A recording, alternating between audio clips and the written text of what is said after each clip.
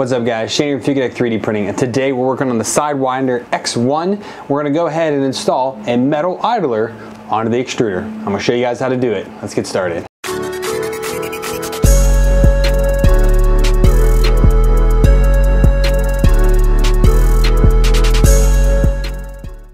Welcome back guys. So I, let's do a little bit of background before we actually get started in doing this very, very simple mod swap out.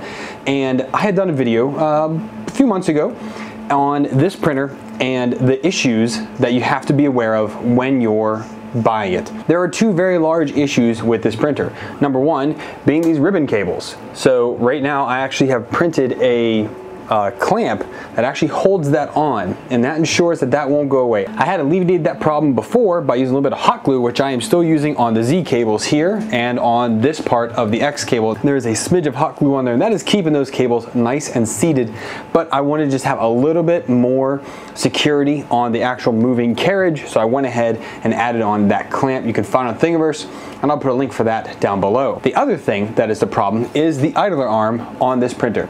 Now from the factory it comes cranked all the way down and a lot of people break it because they try to push back on the thumb part of it which is what you're supposed to do on a Titan extruder. Push this back and push your filament in. When you do that, it breaks. But even if you loosen it and use the change filament feature, this will break eventually. I've already gone through two of these arms. I am on arm number three and it has been working for about two months now. Fantastic. But I'm a little worried that it's gonna break during a print. Now I have a 0.6 millimeter nozzle on here so I can do some very large, very fast printing on this. But again, I do not want to waste half a roll of filament because that idler arm is going to break out. So cue the metal idler arm. Now what is this? Basically, this is an aluminum version, a solid milled aluminum version of that idler arm in their clone Titan extruder. There's a lot of controversy about this, but this is the tried and true way to correct this, or you could buy a legitimate E3D idler arm for I think about $20 on Amazon or Affiliate Extruder or from E3D themselves, and you could have that. There is no problem in the world with a legitimate injection molded E3D idler arm. I've had one on several printers I have with legitimate Titan extruders for years. The oldest being my uh, FT5 has had it for probably going on three and a half years now about. Three, yeah, three and a half years now about. It'll be four years in the fall. And it has been working great. And I don't use change filament. I push that idler arm back and I fish my filament in there and I go from there or I once I get the filament in there then I use the wheel, the thumb wheel here to kind of push it down and in. Either way works, but again, with properly injection molded parts, they just work. So enough of the soapbox, let's get to actually installing this. I'll show you just how easy it is. Let's get to it. First things first, I've got some filament in here, so we are going to go ahead and do the change filament out, and we're gonna wait for this to heat up, and I'm gonna remove my filament. You have to have this out because it actually go, your filament goes through the idler arm, and this little hole right here, it actually goes in there, so we need to get our filament out of the way. All right, so now we need to do, once we have that filament out, we're gonna go ahead and power it off and move it to the side. We need access here to the left side of the extruder carriage so that we can pull all of this off and be able to get to that idler arm. All right, first off, we're gonna go ahead and remove this fan. Now this fan does have a grill on the front of it, so just be mindful of that. These have very long screws. All right, so when you pull out the last one, you're also gonna have the heat sink come loose. So we've got fan grill, fan, and heatsink. And while you're at it, go ahead and make sure you clean that out and move that. Okay, I jumped the gun, didn't zoom in properly. So first thing you wanna do is remove these four screws from around the fan. You're gonna have a fan grill, the fan, and the heatsink pop off which gives you access to the outside of the extruder plate. We're gonna go ahead and remove this now. Now when you pull this off, be very mindful. There is a spring right here behind the idler arm that is going to want to jump out at you. Just be aware of that. You don't really need it for this, but uh, there's no reason to throw it away. You can always have it for a spare. If something happens with this aluminum arm, which never should, or if you have another printer that has one, uh, you'll wanna make sure that you have an extra one around. Now we can go ahead and remove this front plate. So once you open this up, you can see this is the side of the arm that we were just working on, or the side panel. Here's the arm, it just loops right off and this is what it is. This is their newer version, which actually has not cracked on me. Thank goodness. Uh, let's see if there's any wear in there. No, there doesn't look any wear on it, so that's good to go.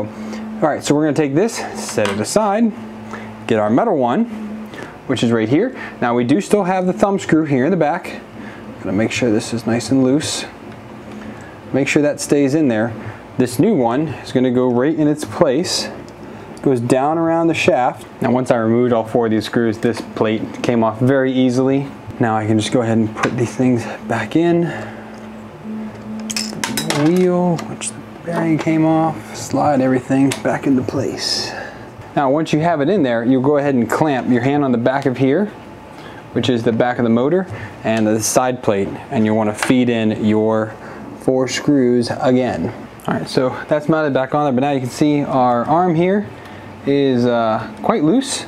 So we're gonna go ahead and just tension up this back a little bit. We just wanna get this snug. Okay, you don't want too much. And then pulling back, you can see that's how you're gonna actu actuate it. Perfect, now you can loosen and do this any other time, but now it's just an easy time to do it. Now we're gonna go back here to the side, we're gonna put the heatsink, the fan, and the grill back on. And that is just about it. The one thing that we do need to add is a little piece of PTFE tubing. So you could take the one out of the original arm if you want to, but since I have lots of it, I'm going to just make a new piece for it. And there we go. That is now an aluminum idler arm. All right, now to make sure everything works the way it should, we're gonna go ahead preheat this and load some new filament and make sure it comes out the way it should. All right, so now that it's uh, preheated here, we're gonna just push this down all the way until it stops. We're gonna hit confirm and then it is going to pull the filament in and out the bottom we should see some filament come out. And there it is right there. So that worked. No issues there at all. Now we have a pretty much indestructible arm there that's not going to cause us any problems in the future. And there it is guys, a simple $10 mod to make sure that their janky idler arms never give you a problem midst of that big long print that you've been waiting to do forever and if you have an idler arm break on you, not gonna happen with this sucker in there. If you want to I have a link for where to pick this up, I have a link down below. I've only ever found it on AliExpress. Uh, if, Amazon, if I can find it on Amazon, I'll put it there too, but uh, as far as I know, Ali is the only place I was able to actually find this. And I hope you guys enjoyed this video. If you did, please give it a thumbs up. If not, thumbs down. Either way, I want to hear from you guys in the comments what you guys think about the printer, this mod, or anything else I do on my channel. If you're not a subscriber, make sure you do that. Hit that bell icon, and that way you get a notification when I upload new content. If you want to support me and help me fund new projects, kind of like doing this, become a patron. It only takes a dollar to join in the Patreon club and I also have Discord and things like that you guys can check out. So check all those links down below. There'll be affiliate links down there for anything I use on my channel check those out. And um, yeah, that's about it. My outros are horrible right now. I'm just not feeling these lately, at least these outros. But yeah, anyways, thanks for tuning in, guys. Until next time, happy printing.